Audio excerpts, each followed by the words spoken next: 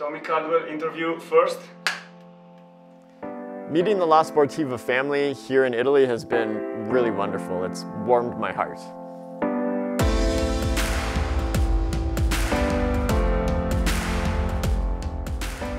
The factory, the vibe, the people, um, the quality of production has been incredibly impressive. Like I'm so excited to see it.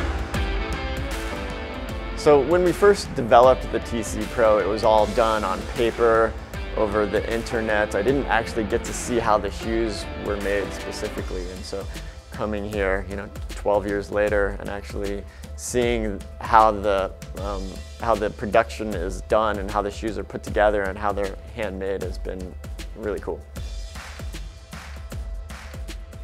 Yeah, so there are so many La Sportiva athletes that I admire that I've wanted to meet that I haven't been able to meet yet. And so this athlete meeting is an incredible chance to get together and, and spend time with uh, some of the climbing athletes that I, that I really am excited to see.